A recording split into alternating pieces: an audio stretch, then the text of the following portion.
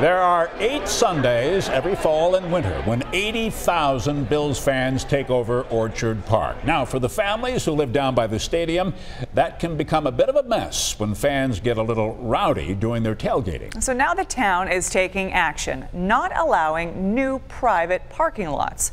7 Eyewitness News reporter Sierra Johnson spoke with neighbors about this decision. She joins us now with more. Sierra.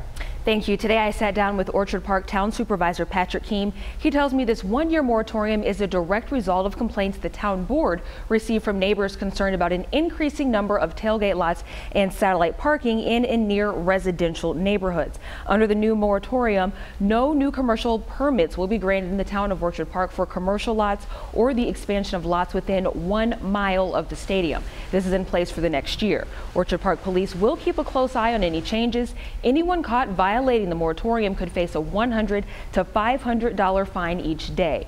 But a neighbor I spoke to who's lived on Big Tree Road since the stadium opened says this move is too little, too late. I think this is postponing the inevitable. I think it should have been no knocking down the houses, no making parking lots. Finish.